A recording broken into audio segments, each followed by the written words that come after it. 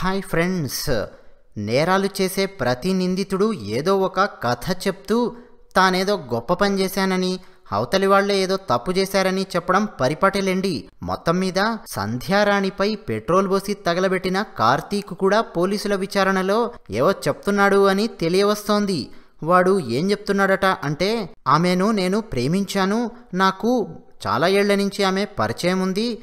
ప్రాణప్రదంగా నేను ఆమెను ప్రేమించాను. నా ప్రేమను వెల్లడించాను ఆమె నా ప్రేమ ఒప్పుకోలేదు నాతో మాట్లాడడం మానేసింది నేను ఫోన్ చేస్తే ఫోన్ కట్ చేసేది ఫోన్ అసలు లిఫ్ట్ చేసేదే కాదు ఇక ఆమె తన కొలీగ్తో మాట్లాడి నన్ను బెదిరించింది నా జోలికి రావద్దు మాకు ఫోన్ చేయొద్దు అని ఆమె కొలీగు నాకు ఫోన్ కాల్ చేసి బెదిరించాడు ఇక ఆమె ఆమె కొలీగ్తో క్లోజ్గా ఉండడాన్ని నేను తట్టుకోలేకపోయాను నన్నేమో ఓ పక్క దూరం పెట్టేస్తోంది ఈ అన్ని కోపాలు మనసులో పెట్టుకొని అందుకనే నేను ఆమెను చంపేశాను అని చెప్తున్నాడట వీడు.